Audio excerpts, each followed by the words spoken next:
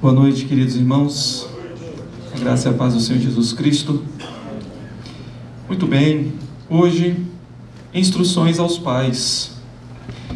Nós vamos trabalhar alguns textos de Provérbios, como temos trabalhado. Mas talvez você pense assim, mas eu ainda não sou pai, não sou mãe.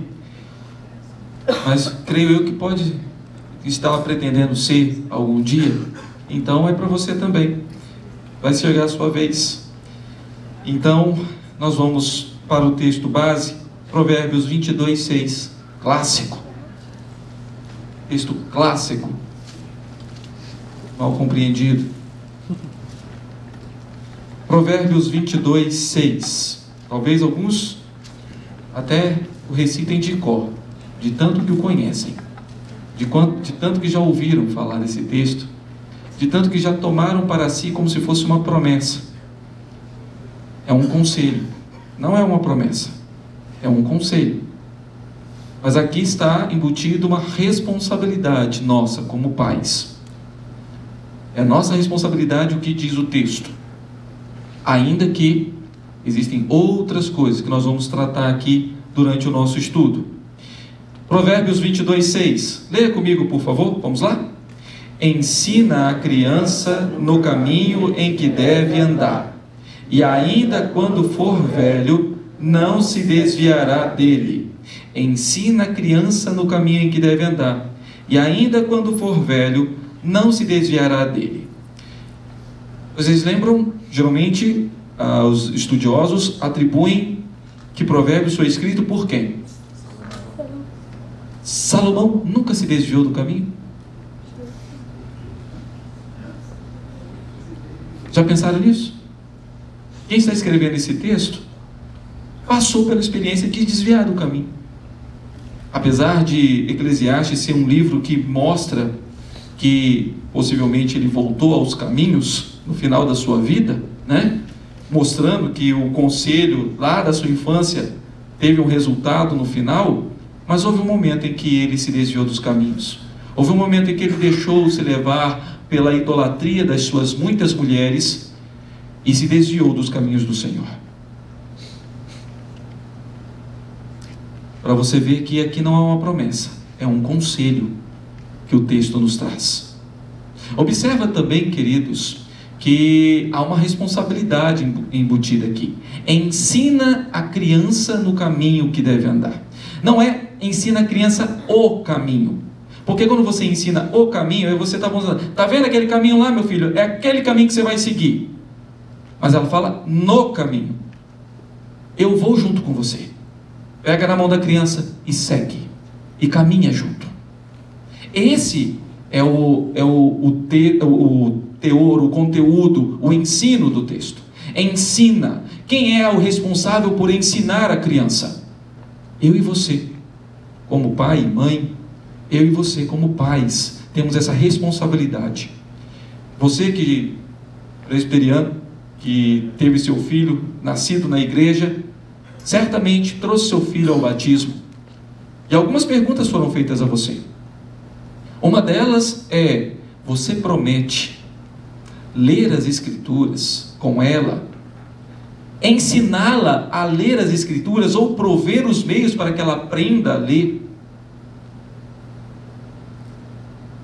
Você promete ser exemplo de religião e piedade?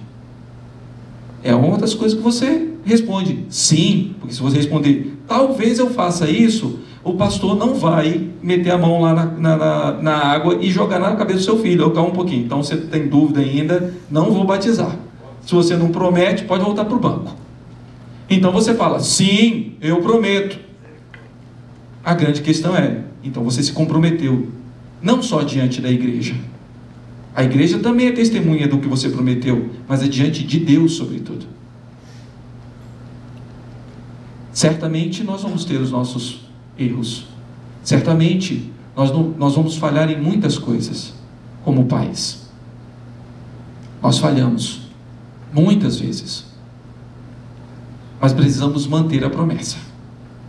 E devemos manter, porque é responsabilidade nossa Infelizmente, hoje, os pais têm entregado os seus filhos a muitas outras coisas. Não, mas o meu filho, ele não, ele não, quase não vê televisão, é regrado a televisão, e quando vê televisão, eu só coloco o desenho bíblico para ele. Não é o desenho que tem que educar seu filho. Ah, eu não permito que ele veja coisas no YouTube, a não ser que com a minha supervisão, e ele só vê lá uh, o videozinho de coisa cristã. Não é o videozinho, seja qual pastor que for, que, que tem a responsabilidade de ensinar seu filho. É você. Se seu filho faz uma pergunta para você e você não sabe responder, procure aprender, procure para ensiná-lo.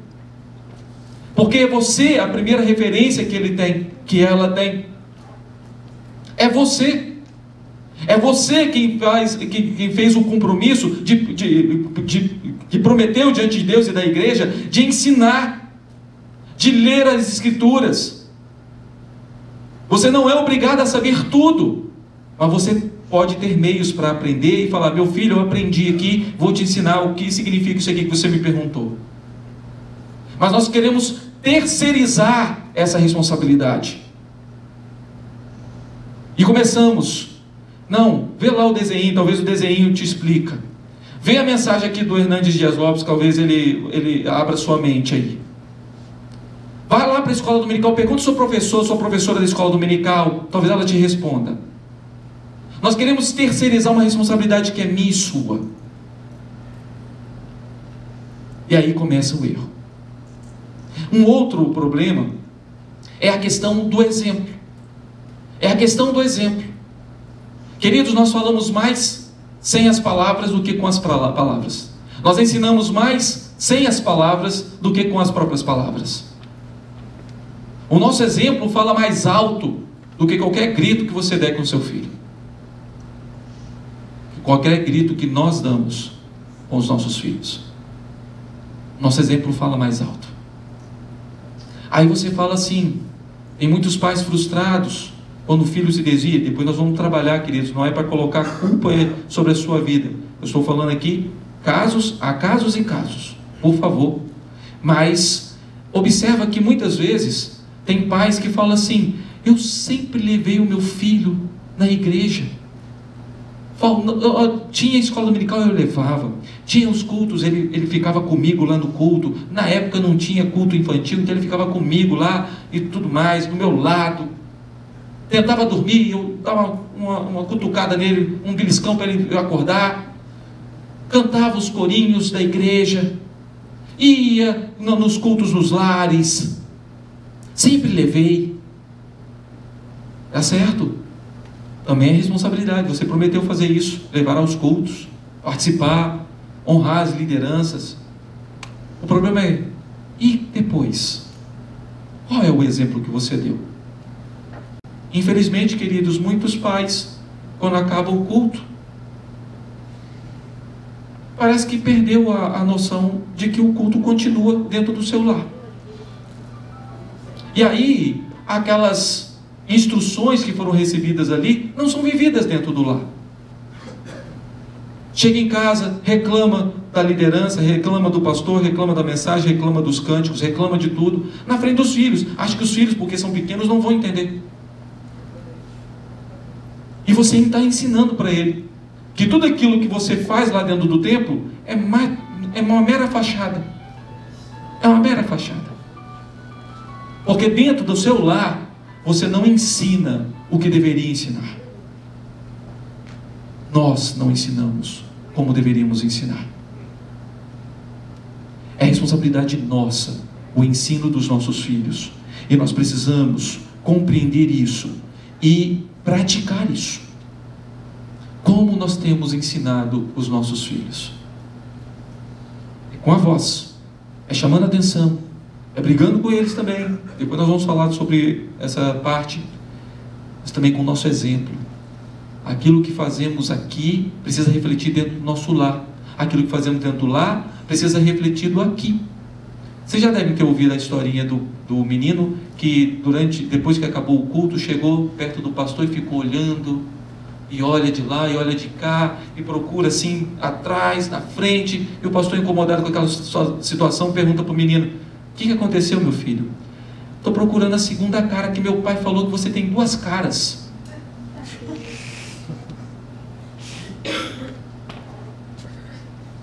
É.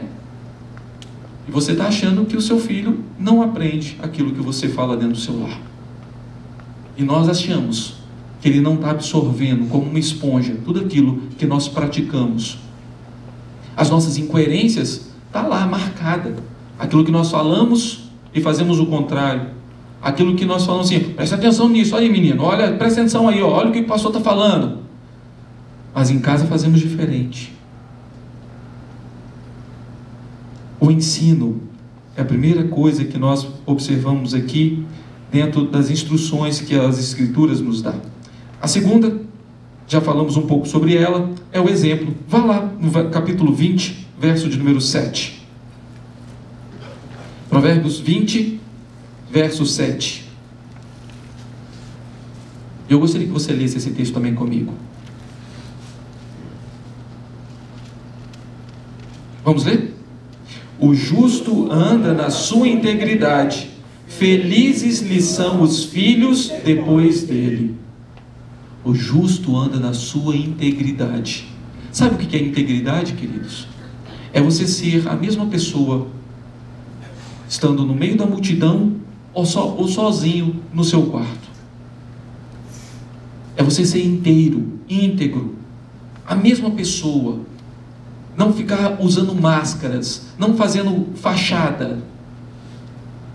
O íntegro, o justo que mantém, que anda na sua integridade, Diz as Escrituras que felizes são os seus filhos, porque vão ver isso, não vai haver, não vai haver incoerência. Ou se haver incoerência, porque pode acontecer, porque somos pecadores, ele vai observar e ver o quanto nós buscamos andar de acordo com a palavra do Senhor.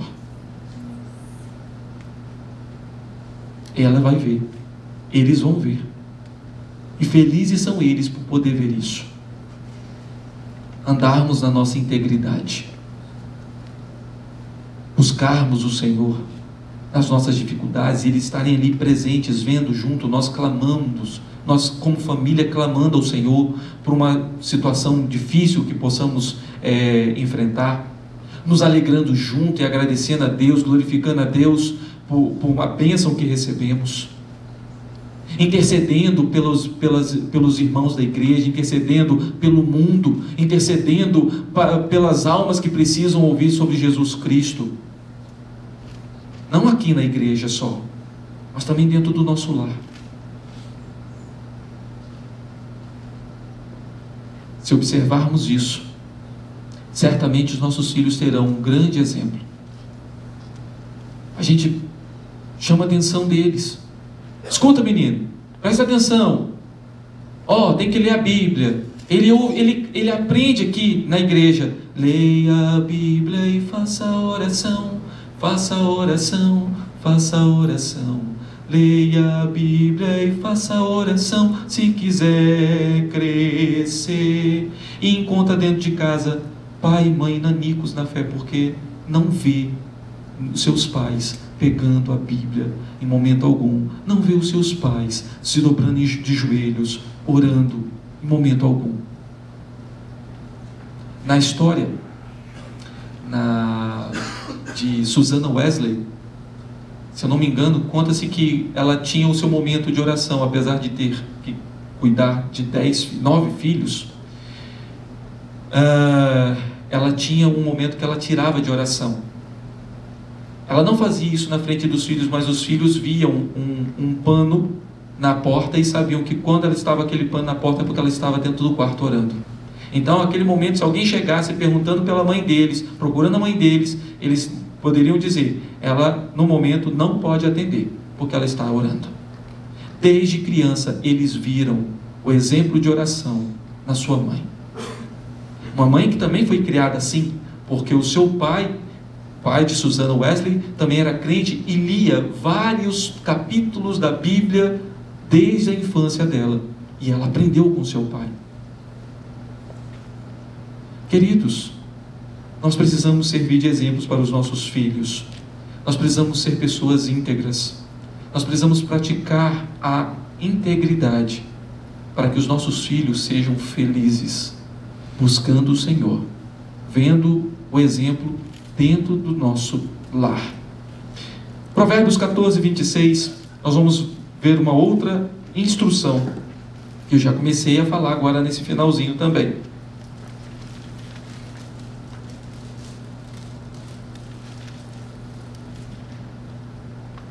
Vamos lá? Vamos ler juntos? Provérbios 14, 26. Observe essa, observem as instruções, essa instrução do Senhor.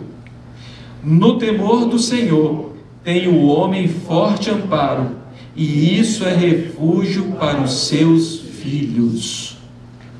No temor do Senhor tem o homem forte amparo, e isso é refúgio para os seus filhos. Queridos, isso aqui é maravilhoso. Sabe por quê? Porque nós sabemos que nós somos falhos. Nós reconhecemos e devemos reconhecer que nós não somos autossuficientes. Em um momento ou outro, podemos dar um mau exemplo para os nossos filhos. Em um momento ou outro, podemos é, acabar entrando numa certa contradição. Mas agora, nós clamamos ao Senhor, nós buscamos o Senhor, porque o Senhor é quem pode, apesar de nós, instruir os nossos filhos e não deixar com que eles sigam aquele mau exemplo. Só o Senhor pode fazer isso, apesar de nós. Certamente nós cometemos erros. Se nós fôssemos aqui abrir o, o, o espaço para contar, contaríamos várias, várias coisas que cometemos durante a infância, a adolescência, até mesmo juventude dos nossos filhos, que serviu, que foi uma contradição. E os nossos filhos cobraram de nós. É, pai, mas você já falou, você falou isso, mas fez assim. É verdade. E fazer o quê? Entretanto, é buscando o Senhor, e é por isso que nós devemos orar com os nossos filhos e orar também pelos nossos filhos. Ter essa vida de espiritualidade, de buscar o Senhor, de temer o Senhor, para que o Senhor, apesar de nós, trabalhe no coração dos nossos filhos. Porque nós não conseguimos salvar os nossos filhos. Nós devemos instruí-los, nós devemos ensiná-los, mas nós não temos condições de salvar os nossos filhos. Seria muito fácil pegar aquele texto que nós lemos no início e falar assim: ensina a criança no caminho em que deve andar, e quando for velho não se desviará dele. Bom, então é fácil para o meu filho é, ser salvo, é só eu ensinar a Bíblia para ele. Será que é só assim? Esse é um passo que nós devemos fazer. Pregar o Evangelho, assim como nós pregamos o Evangelho para todas as outras pessoas que não conhecem o Senhor Jesus. E devemos começar dentro da nossa casa com os nossos filhos, pregando o Evangelho. Mas só o Evangelho transforma o coração dos nossos filhos. Nós não temos condições de fazer isso. Então, se há uma responsabilidade sobre nós, tem sim. Qual é essa? Ensinar os nossos filhos no caminho em que eles devem andar. É segurá-lo na mão e falar assim: meu filho, vamos passar juntos aqui. Eu vou te ensinar como é que funciona a vida cristã. Mas nós não temos responsabilidade de salvar os nossos filhos, porque nós não temos condições de fazer a vez do Espírito Santo. Nós não temos isso. Então, ensina, dê o exemplo, tenha uma vida de temor ao Senhor, buscando o Senhor, para que apesar dos, de nós, das nossas falhas, das nossas contradições, das nossas mazelas, dos nossos pecados, das nossas iniquidades, os nossos filhos possam andar nos caminhos do Senhor, lembrando que o exemplo perfeito é Jesus Cristo e não nós, apesar de sermos exemplos para eles. Agora, uma das coisas que mais é falada nessa relação de pais e filhos né, em, em, em Provérbios é sobre algo que tem sido deixado de lado nos nossos últimos dias. Ah, eu falei com os adolescentes esses dias que a geração deles é uma geração complicada, porque tem sido uma geração frágil. Tudo vira depressão, tudo fica no, no, no, no mimimi, né? E, e aquela situação chamou a atenção, ah, que agora tirou meu celular, perdi o sentido de viver. Que negócio é esse? Se, se o pai pega o chinelo para dar uma chinelada, já faz um escândalo para ver se o vizinho liga para a polícia. Que negócio é esse? É uma geração frágil. Que parece que quando nós castigamos, quando nós é, chamamos atenção, já, já cai. Ah, que eu fico. Aí tem alguns pais que já começam. Ah, porque eu fiz isso e ele ficou deprimido, eu não sei o que, que eu vou fazer. Continue. Não cede, não. É o que a Bíblia diz. E nós vamos ver aqui alguns textos falando sobre disciplina. Aplique a disciplina ao seu filho. Sabe por quê? Porque o primeiro que faz isso conosco é o exemplo maior de pai que nós temos: Deus. O exemplo perfeito de pai que nós temos: Deus. Ele aplica a disciplina em nós. Vamos lá em Provérbios capítulo 4,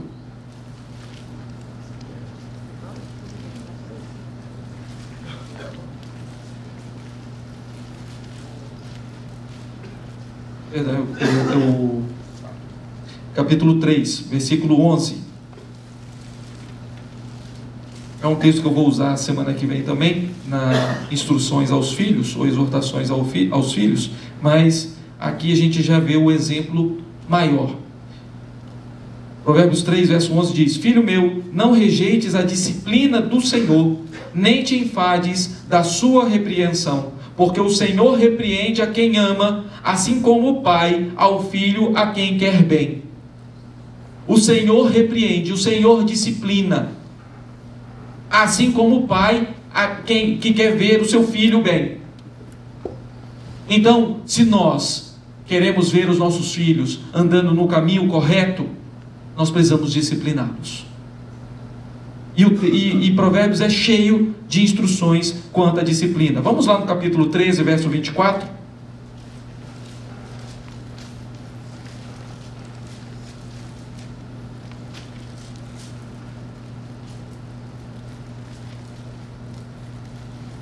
Provérbios 13, 24 diz assim: O que retém a vara aborrece a seu filho, mas o que ama cedo o disciplina. que retém a vara aborrece seu filho. Aí você acha que seu filho vai ficar aborrecido porque você o disciplinou. Não. Ele vai ficar aborrecido porque você não o disciplinou. De vez em quando, meu filho conta algumas situações de alguns, alguns meninos na escola que ele estuda. E eu falo assim: como é que é a vida familiar dele? E quando ele conta, eu falo assim: eu já sabia. Ele faz o que faz na escola para ver se chama a atenção do pai que não vê, não dá atenção devida a ele. Talvez o menino está até pedindo: pai, fala comigo, me repreende, dá uma varada, mas pelo amor de Deus, olha para mim. Mas o pai não olha, a mãe não olha. Então ele tenta chamar a atenção de outra forma. O que aborrece o que retém a vara aborrece seu filho, mas o que o ama, cedo o disciplina. Queridos, não tem idade para disciplinar. Ah, vou esperar ele entender. Quando ele tiver uns 5, 6 anos, aí talvez ele vai ficar entendendo, aí eu vou, vou chamar a atenção dele. Já está tarde. Você já mimou demais. Não estou falando aqui para você bater num bebê. Não é isso mas já tem que dar as repreensões. Desde cedo já tem que entender o que pode e o que não pode.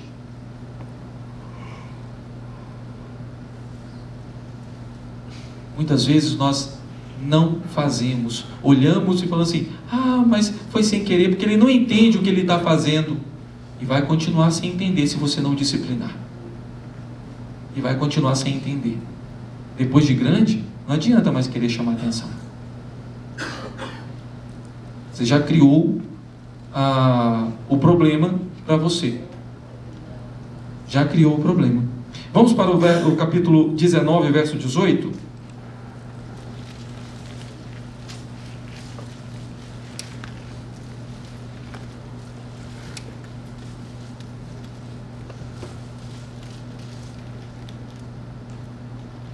Vamos lá? Vamos ler comigo, por favor? Castiga a teu filho enquanto há esperança, mas não te excedas a ponto de matá-lo. O texto aqui não está dizendo para você deixar seu filho meio morto, tá? Não é isso.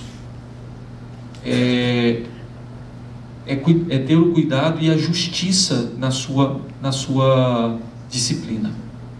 Precisa haver, precisa haver é, justiça. Que às vezes a situação não é tão grave.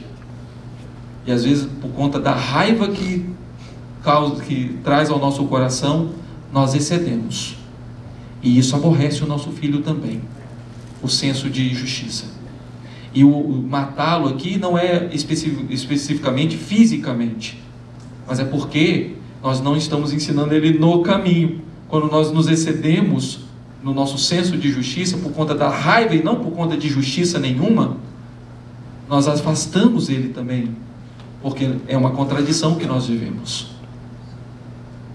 Então, precisa haver o castigo. É necessário que haja o castigo. É necessário que haja disciplina, mas ela precisa vir com um senso de justiça. Ela não pode se exceder, porque senão você. Nós vamos para a instrução que é dada lá em, no, em Efésios capítulo 6, nos primeiros versículos, verso 1 ao verso 4, né? Não irriteis vossos filhos. A irritação não é disciplinar o filho. A irritação é você não usar de justiça mesmo. Aí isso vai irritar. Por que, que quem tem irmão aqui, ou irmãos, é, já deve ter se perguntado por que, que eu tomei quatro varadas e ele só duas? É, vai perguntar aí qual é a resposta que nós vamos dar. Na hora que eu te bati, eu estava com mais raiva? Por que, que eu vou ficar só uma semana sem o celular e ele, quando fez a mesma coisa, ficou só três dias? Ah, mas eu vou ser o mais velho, tem que ser exemplo. Não cola, queridos. Nós irritamos os nossos filhos porque às vezes não usamos o senso de justiça. Entramos em contradição e afastamos ele também do caminho. Então, esse é o sentido do texto. Mas é necessário a disciplina. Capítulo 22, verso 15.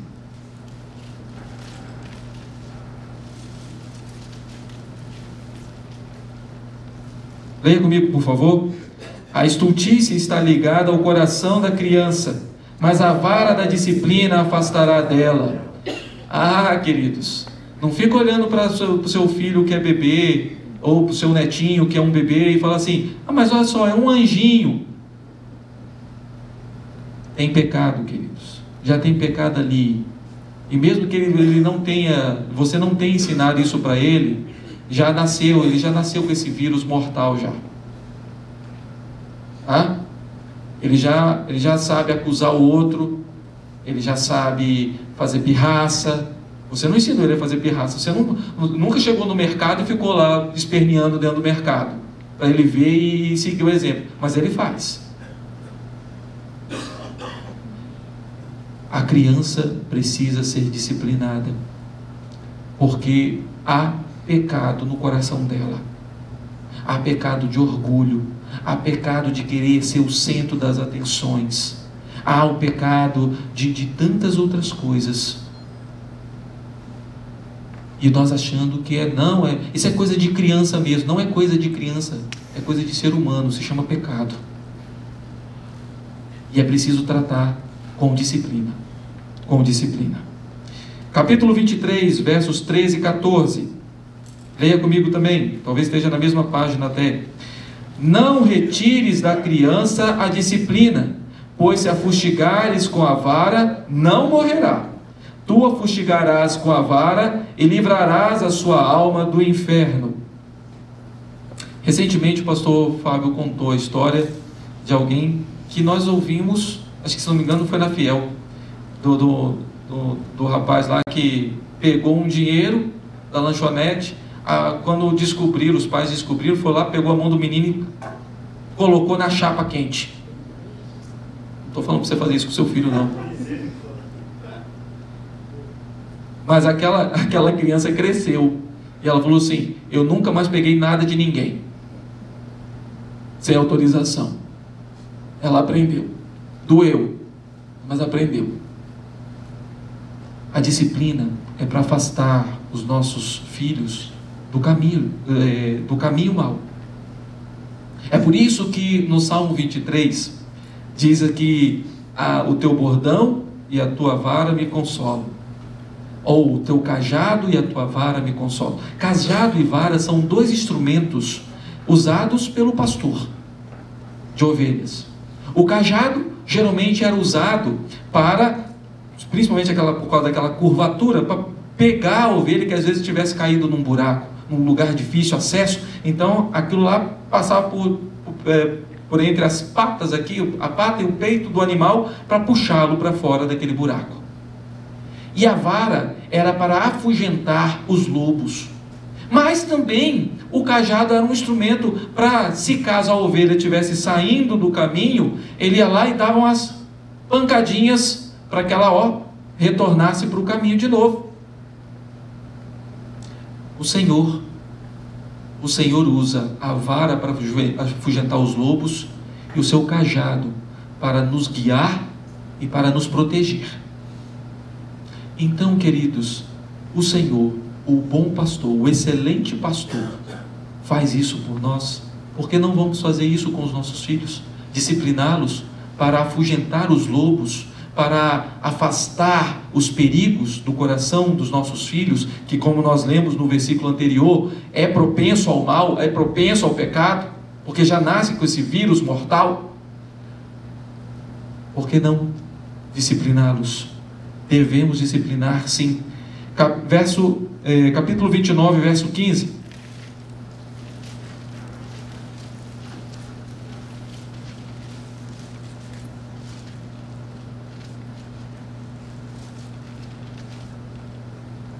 Vamos ler?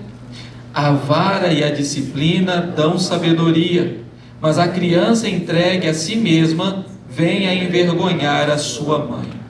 Talvez seja um, um versículo muito atual, porque o que a gente vê de pais passando vergonha em determinados lugares, porque a gente vê que a criança não tem disciplina nenhuma, hoje o número está cada vez mais aumentando. Eu não sei o que passa na cabeça dos pais, sinceramente. Eu não sei se é assim, ah, meu pai foi muito rígido comigo, eu vou pegar mais leve com meu filho. Eu não sei se é isso. Ou se é pena mesmo, olha para o filho, ah, não, mas deixa, né? Vamos relevar isso aqui, vai relevando. Aquela, a, a pior coisa que nós podemos fazer como pais, queridos, é prometer e não fazer. Ó, oh, meu filho, se você fizer isso, eu vou te fazer assim. Se você vai ficar de castigo. E nunca coloca. O menino vai ficando sem vergonha. Você vai falando, ele já vai debochando da sua cara, porque ele sabe que você não vai fazer mesmo. Aqui o texto nos exorta: a disciplina dão sabedoria. Dão sabedoria. Uma das coisas que, é, ainda, como diz o texto de Hebreus, né? A disciplina na hora, ela não parece ser uma coisa boa. A disciplina na hora não parece uma coisa boa. Mas depois a gente vê frutos dela. Uma das coisas que eu tentei seguir com o Rafael, possivelmente em alguns momentos posso ter falhado também, mas eu tentei seguir foi o que meu pai, meu, meus pais fizeram comigo. Eu não me lembro de ter apanhado ou ficado de castigo nenhuma vez sem saber o porquê de estar acontecendo aquilo. É por causa disso e disso e disso que você vai ficar de castigo. É por conta disso e disso e disso que você vai apanhar agora. Havia uma instrução. Eu não, eu, não, eu não apanhei simplesmente porque o sol nasceu. Eu não apanhei ou fiquei de castigo porque meu pai chegou irritado em casa do trabalho. Não, nunca aconteceu isso. Não me lembro de ter acontecido isso. E muitas vezes nós é, precisamos seguir essa instrução que a Bíblia nos traz.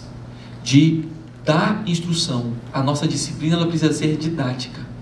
Os nossos filhos precisam saber por que, que eles estão recebendo aquele devido castigo. Por que estão sendo disciplinados? Simplesmente, mas por que está acontecendo? Porque eu quero.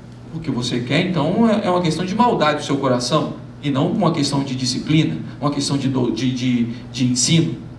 Lembre-se, tudo está ligado ao ensino. Provérbios 29, verso 17. Vamos lá? Leia comigo.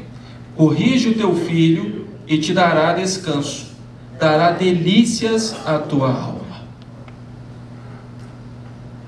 Quantos versículos, queridos, falando sobre a disciplina? E poderíamos elencar vários outros, aqui são só alguns, porque o nosso tempo lá já está já tá no limite. Então, mas observa como o livro de Provérbios nos traz instruções preciosas. Nós, como pais, como devemos ensinar, ter uma vida de espiritualidade, de buscar o Senhor, de temer o Senhor, de ser exemplo para os nossos filhos, de disciplinar os nossos filhos. Mas uma coisa eu gostaria de deixar aqui também para acalentar seu coração, para deixá-lo um pouco mais é, tranquilo em uma outra situação. Como eu falei, nós temos o dever de ensinar, de ser exemplo para eles. Prometemos isso. Mas nós não temos condições de salvar os nossos filhos. Existe, existe o pecado no coração do nosso filho também. E vai haver momentos em que eles vão se desviar, que podem se desviar, que nem sempre é especificamente porque nós não ensinamos. Talvez até realmente ensinamos, buscamos dar exemplos, e apesar de nós, né, ter as nossas falhas também, os nosso, nossos filhos às vezes pegaram, são pessoas até boas, humanamente falando, são pessoas bons profissionais, pessoas de caráter. E quando você pergunta para, oh, rapaz e tal, você é uma boa pessoa, vejo que é um cara alegre e tal. Não, meu pai me ensinou. Eu tinha que ser assim. Eu procuro seguir o que meu pai me ensinou. Então você ensinou. Agora, por que espiritualmente ele também não seguiu os mesmos passos? Porque o seu coração também é inclinado para o pecado. Porque assim como Salomão, ele foi atraído pelo pecado. Porque ele é um pecador, assim como eu e você. Os nossos filhos também são pecadores e são inclinados para o mal. E por mais que nós ensinemos, pode ser que em um momento ou outro eles se desvirtuem. Que o Senhor tenha misericórdia de nós. Por isso devemos orar pelos nossos filhos, como disse lá Provérbios 14, 26. É o temor do Senhor, buscar no Senhor, para que o Senhor, mesmo com as nossas, as nossas contradições, mantenha e preserve os nossos filhos. Mas nem sempre é uma falta de ensino dentro do lar. E o Provérbios, no capítulo 30, no verso 11, 12 e 17, diz assim: Há daqueles que amaldiçoam ao seu pai e que não bendizem a sua mãe. Observe que é uma coisa dentro do lar. Não é aquela situação de fazer vergonha fora da casa. Né? É uma questão dentro do lar. A pessoa que amaldiçoa o seu pai, que não bendize a sua mãe, que não honra os seus pais. Estava falando com, com o pastor Fábio hoje à tarde. Um exemplo que de, dessa pessoa que desvirtuou também, além de Salomão, foi Sansão. Foi ensinado. Quando Sansão resolveu ir lá na terra dos filisteus e se enamorou de uma jovem lá, o pai dele falou assim: Não tem mulheres aqui na nossa tribo? Não tem mulheres no meio de Israel que você possa pegar como esposa? Você tem que ir lá nas Filisteias, no meio das Filisteias. Ele instruiu. E mesmo assim, o coração duro de Sansão falou assim: Eu quero aquela mulher. E casou com ela. Houve instrução do pai, houve instrução da mãe. Mas o coração endurecido de Sansão fez com que ele se voltasse para aquele para aquelas mulheres que eram idólatras. Apesar nossos, das nossas falhas, nem sempre são elas que desvirtuam os filhos. Eles também são responsáveis pelos seus atos. Lembre-se disso. Você instruiu eles no caminho. Você, apesar das, das culpas, das falhas, das contradições, buscou o Senhor, orou por ele, orou com ele, estava com ele, ensinou as Escrituras. Mas lembre-se, agora eles são responsáveis pelos seus atos. Eles têm responsabilidade. Já não é mais aquilo que você fez ou faz. Agora ele responde por si. Também é algo que nós prometemos aqui, não é? Até ele chegar à idade em que ele mesmo vai professar a sua fé. E nós vemos aqui, às vezes, jovens, adolescentes vindo à, à, à frente, professando a sua fé, dizendo: agora já não é mais pela fé dos meus pais, mas agora é porque eu creio. A partir dali, você continua tendo suas responsabilidades como pai, mas agora ele já responde por ele, já responde pela sua fé. Ele fez esse compromisso agora também. Eles também são responsáveis. Verso 12 diz assim: Há daqueles que são puros aos seus próprios olhos e que jamais foram lavados da sua imundícia. Nossos filhos, muitas vezes são assim. Às vezes tem até aparência de crente. Foi criado na igreja, levamos eles para, para, para casa do Senhor, fez perguntas teológicas difíceis para a gente responder. Vem, em alguns momentos até com mais prazer do que a gente para a casa do Senhor.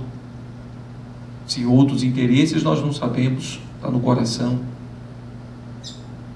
Mas lembre-se, ser ter atitude de crente, aparência de crente, não significa dizer que foi, foi crente, que foi salvo. Até que ele responda por si mesmo: Eu creio no Senhor Jesus como meu Senhor e Salvador. Verso 17: Os olhos de quem zomba do Pai, ou de quem despreza a obediência à sua mãe, corvos do ribeiro os arrancarão e pelos pintãos da água serão comidos. Isso aqui é uma é uma quase uma imprecação, né? Diante dos filhos. E realmente, do, diante da lei, um filho que amaldiçoasse seus pais era apedrejado até a morte. Pela lei. Alguém que fizesse uh, esse tipo de situação aqui, amaldiçoasse seu pai, não bendizesse a sua mãe, é, zombasse dos seus pais, desprezasse seus pais, era pena capital no sujeito. Agora, por quê? Porque não recebeu instrução? Pode ter sido. Mas também pode ter sido o coração voltado para o pecado, o coração endurecido. Porque mesmo tendo ouvido o Evangelho desde a sua infância, dentro do lar e na igreja, nunca houve uma conversão verdadeira. E nós precisamos, por isso, continuar como pais, buscando o Senhor, intercedendo pelos nossos filhos, orando pelos nossos filhos, pregando o Evangelho para os nossos filhos. Essa é a nossa responsabilidade. Mas agora meu filho está casado, meu filho tem a, a, a, família dele, tem a vida dele, sim.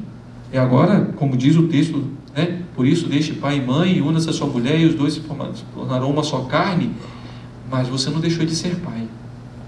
Você tem o dever de ainda continuar instruindo no caminho. É certo que você não tem mais como discipliná-lo, como colocá-lo de castigo. Não, essa fase passou, é verdade.